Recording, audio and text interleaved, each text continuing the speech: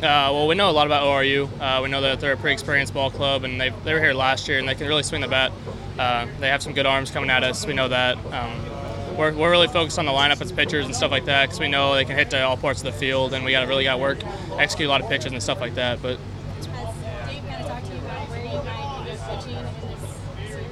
uh, we're not really sure yet. I mean, it's going to be uh, game one or game two, but we're not really positive as to who's going to. They'll probably release it pretty soon, but we're not really sure.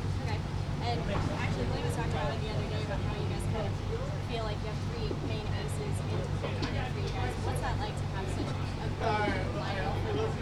Um, I mean, it's really a confidence booster, really. I mean, no matter who's going, we know we're going to have a really good outing, and I mean, can trust everybody to the pin as well. I mean, it's just it's really good knowing no matter how the guy starts a game or who comes in later, we always have a guy to back him up just in case. You talked a little bit about the hitters. It's a very offensive driven regional, and so how are you guys really concentrating on making sure they hit balls on the ground?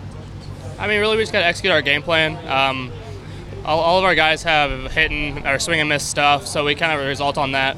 I mean, like looking at Blaine, he'll he'll go deep in the game, working a lot of swing and miss stuff. So I mean, it's going to be a ground ball or a strikeout, or something like that.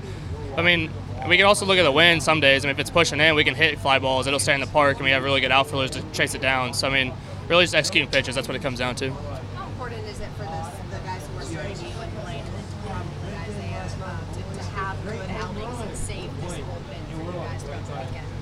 Yeah, I mean, I would say it's important. I mean, on average, I'd say we all have pretty good outings almost every time. I mean, enough to get us through a game. But uh, no reason to look at it as pressure because all of our guys can carry us in the pen. They know we can get up to the end of the game if we need them to. But I mean, we just got to go out there and do our job, and it'll get us a good result.